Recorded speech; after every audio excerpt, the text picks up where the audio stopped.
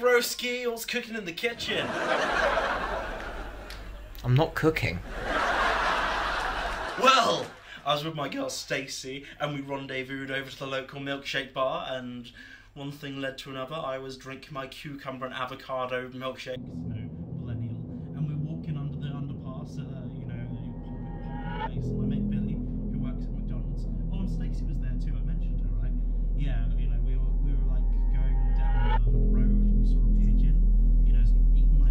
God, I wish he'd shut up. Anyway, one thing led to another. West Ham United football player Mark Noble.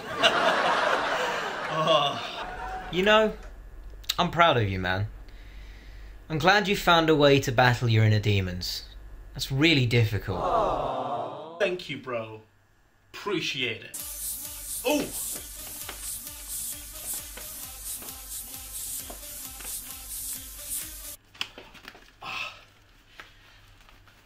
sorry, broski. Gotta go. Me and my girl Stacy gotta mosey our way down to the soda pop stop and drink some zingers. Catch you later, dude.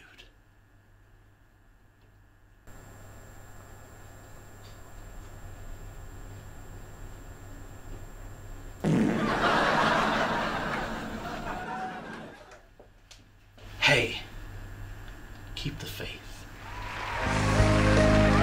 We'll be right back with more Brain Fade after these messages.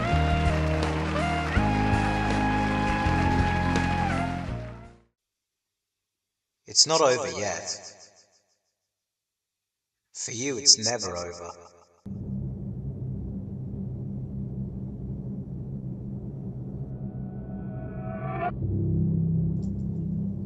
The show must go on, Chris.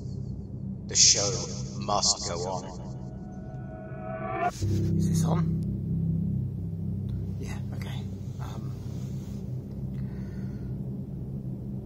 I need help. It's not just getting up in the morning, it's every mundane task that I do. Whether it's cooking food, playing games, writing letters, writing emails, talking to anybody. It seems like I'm being documented and it's nothing feels real anymore. To to to put it bluntly, I'm I'm fucking terrified. Welcome back to Brain Fade. Will Chris get over his inner demons this week? No, no, no, no.